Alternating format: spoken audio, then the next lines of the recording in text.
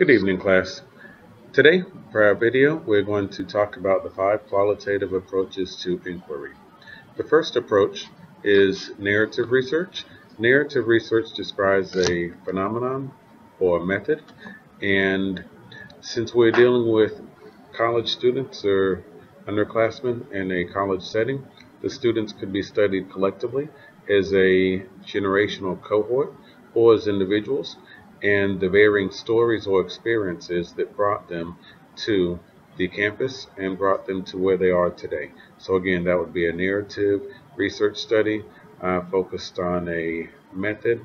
And since we're studying students, we would be able to collect their stories, identify individual experiences, and see how those relate.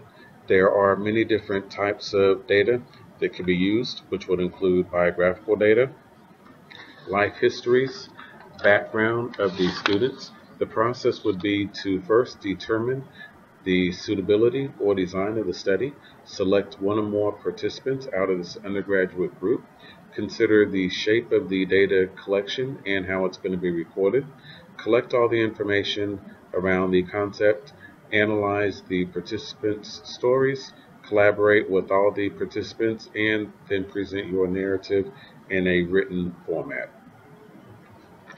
The next type is going to be phenomenological, and this describes a common meaning or a lived experience. And this is where experiences are reduced to a specific phenomenon that might relate or overlap with various others. The characteristics are based upon a single concept or idea, and then the groups could be grouped heterogeneously with a surrounding a single common incident, event, concept, or idea that unites or brings this group together.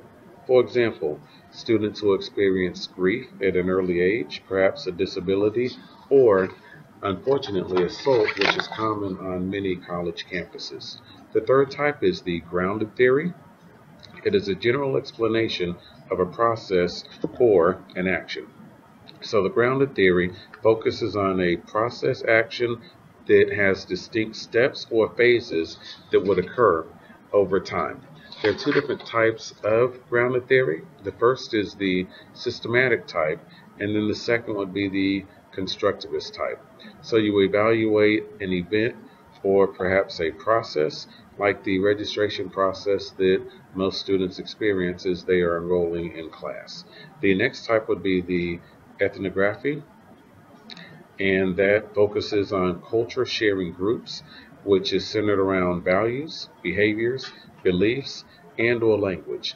On a college or university campus, there could be groups that would surround themselves based upon a college major. I would be able to make the assumption, or it's reasonable to make the assumption, that students who study criminal justice or who are criminal justice majors, they should have a set of moral values that led them to have a desire to study that field.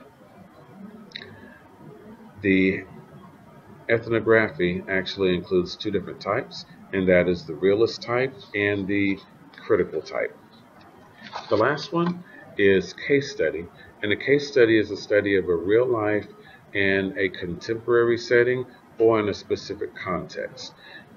In the case study, they identify a specific case with a certain intent that can be intrinsic, um, and you actually study one person or one situation in depth.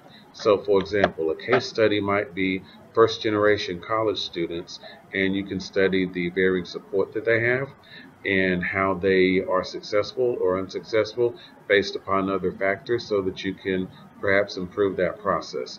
There's a group called Posse in New York who is actually, their whole focus is to take first generation students. They pay their expenses, they help them with books, they set them up with other cohorts, and they have a very high success rate. They have formed the processes based upon case studies of students who had similar backgrounds and similar issues. So that is the presentation. You have a great day.